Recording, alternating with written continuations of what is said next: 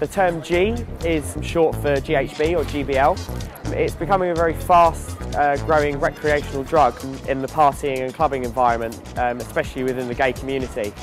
G is a clear odourless liquid, which is very cheap and easy to get hold of in the UK. And um, a lot of people now are using it as a replacement to ecstasy. It does decrease your inhibitions. It increases uh, euphoria um, and also it has uh, an effect on your sort of sex drive. But obviously, if it is taken in high amounts or mixed with other depressants, such as alcohol, it can be quite dangerous. It can cause uh, what's called the G-jig, which is um, sharp muscle spasms. Um, it can also induce vomiting, and if you do overdose on G, you can uh, become unconscious, go into a coma, and eventually it can cause respiratory arrest. Medical professionals do deem it quite dangerous because the components of G are actually the same components as you find in alloy wheel cleaner and therefore is very harmful to the body if you are exposed to too much of it. If you don't take enough of the drug, it doesn't have the effect you obviously want. And um, if you do overdose on the drug, then it can make you seriously ill, hospitalise you, or even eventually kill you. The recommended sort of dose for G for people who take it on a regular basis is approximately two mils. A 2.5, oh uh, sorry, a 1.5 mil. Oh, I'll do 1.5, I'll do 1.8, or I'll do one mil, you know. How do you create that in the club? Have you got the scales? If you go over that by a milliliter, you will overdose. We can measure when they're, you know, intoxicated, you know, you know, like by something else. And it's asking customers to think rationally when they take drugs when they're in an irrational state of mind. It's a very, very, very fine line between being high on G and actually overdosing. People take it within the clubs, um, do normally take it in a safe amount, but obviously we do have few people, especially young people who are not used to the drug, um, take it in uh, quite high volumes.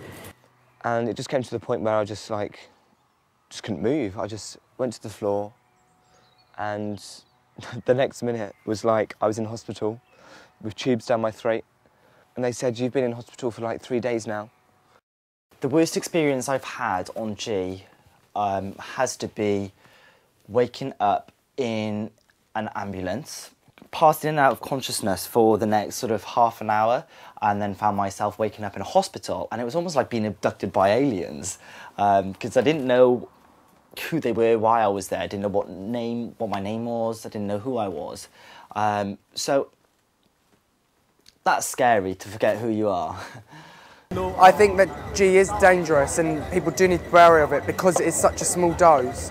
You don't know you're taking too much until you've actually taken too much and therefore it can be lethal and then you can't do anything about it. Ruth was a very, very nice person. We worked together in Heaven.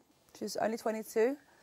She just graduated from university in Norwich and on the night I asked her to come out and she said, no, I don't want to come out. I've got my training to do on Monday. I've got to be there early. That was the last time I spoke to her until Monday afternoon. I had a phone call from the managers to tell me about this devastating news about Ruth, where she had drank thinking it was water. Obviously, it wasn't. It was GHB. She fell unconscious in the kitchen.